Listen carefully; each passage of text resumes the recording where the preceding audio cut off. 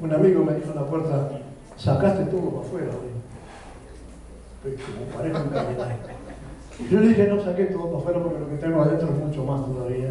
Y es lo que pretendemos buscar a través de, esta, de este encuentro.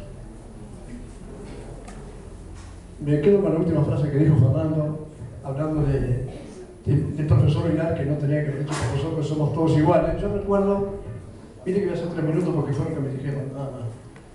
Yo recuerdo un juramento que hacían los vascos en antaño, cuando ungían al Señor o al príncipe, y le decían, nosotros que somos iguales, pero que juntos somos más que vos, hoy te designamos príncipe. Nosotros que somos como vos y que juntos somos mucho más que vos. Ese es un concepto de igualdad, de equidad y de soberanía que viene de miles de años atrás. Esto fue un paréntesis. Eh, la pregunta es, ¿qué está pasando?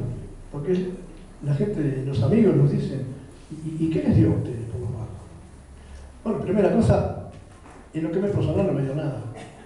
Yo nací en una cuna vasca.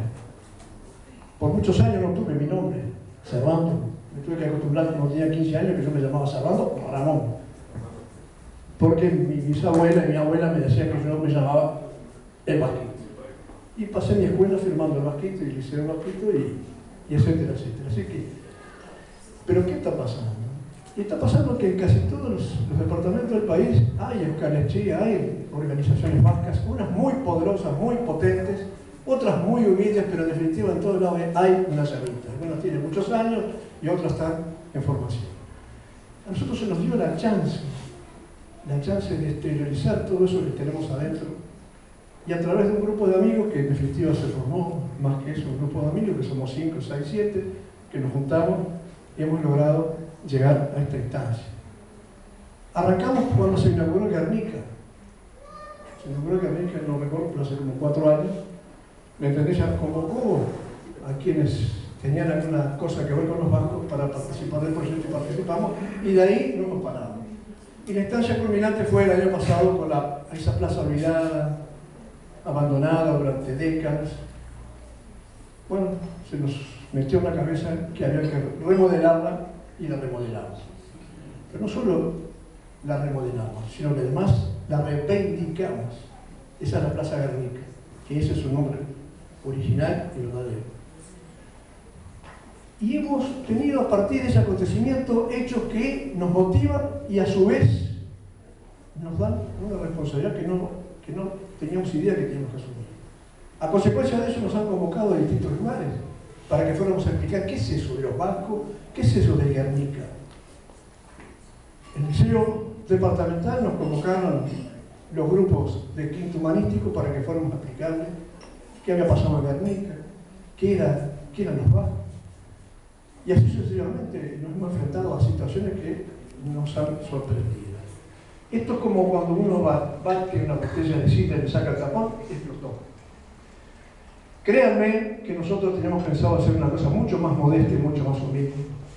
Y la pensamos hacer en la casa amiga, que además nos apaña, que es la sociedad, la Asociación Española de la Vida, pero por motivo locativos tenemos que olvidarla. Que en tenemos que dar un expreso y sentido agradecimiento a la Asociación Española que nos ha complementado siempre con distintos tipos de apoyo como hoy que nos está apoyando. Acá se encuentra el presidente y dos delegados de la Asociación Española. Así que vaya nuestro reconocimiento, a nuestro reconocimiento a, quien en definitiva nos nuclea.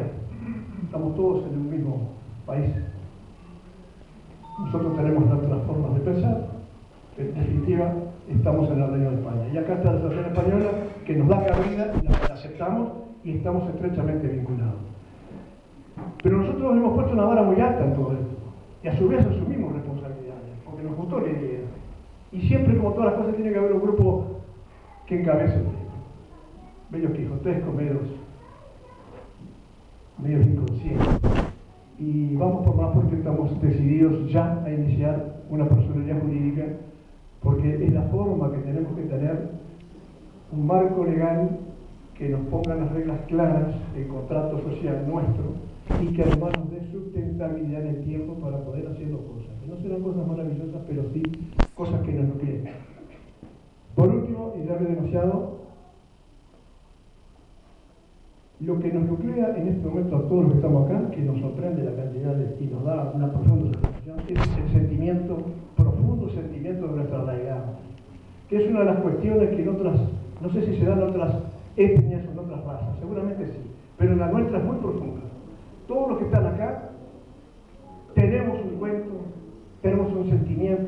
Tenemos en algún lugar de nuestra mente, de nuestra alma, de nuestro corazón, un recuerdo de un abuelo, de un bisabuelo, tenemos la foto de la historia, tenemos la foto de un caserío, donde vinimos, donde vivían nuestros antepasados. Y eso a todos nos da un sentido de pertenencia. Y eso es fundamental en la vida. Tener el concepto de la genética, de la genes, de dónde vengo. Y fundamentalmente cuando vengo de una etnia, una raza, como quieras llamarle, pero es una etnia, tan poderosa, con tantos valores culturales, sociales y humanísticos, bien vale la pena reivindicar y cada tanto juntarnos a tomar un vino y a comer algo como vamos a hacer ahora. Muchas gracias.